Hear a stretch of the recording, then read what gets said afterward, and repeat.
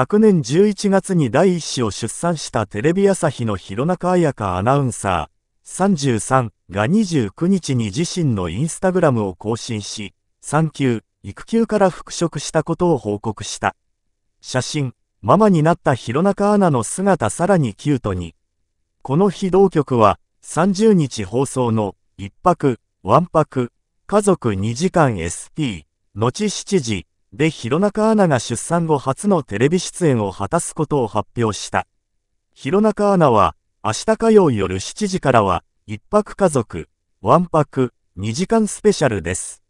世界遺産に住むファミリーに密着しています。白川郷や厳島神社、屋久島など、日本の遺産に住む家族の暮らしはどんなものか。絶景もたくさん出てきますよとまずは内容を紹介。続けて、そしてそしてこのオンエアが復帰一発目になりますと報告した。昨年12月4日の出産報告以来、約4ヶ月ぶりとなる投稿でプロフィール欄も、産休育休から戻りました。激レアさんを連れてきた、一泊家族、出演中ですです。原文ママ、と更新した。弘中アナは2022年9月に、同い年のベンチャー企業社長と結婚したことを発表。23年5月に第一子妊娠を公表し、同9月7日に産休入りすることを報告した。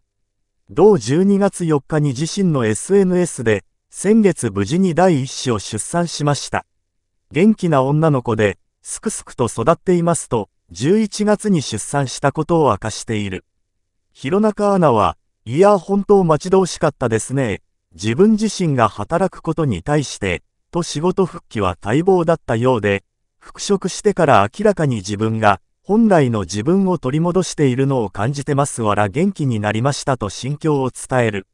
皆様に助けていただきながらですが、やれることを少しずつ始めていきたいです。明日夜7時お楽しみにと意気込んだ。弘中彩香、弘中彩香、1991年2月12日、神奈川県生まれ。33歳。経大卒、2013年4月、テレビ朝日入社、同期に林美咲アナ、担当番組は、激レアさんを連れてきた。月曜、51時15分、一泊家族、土曜、5、6時半。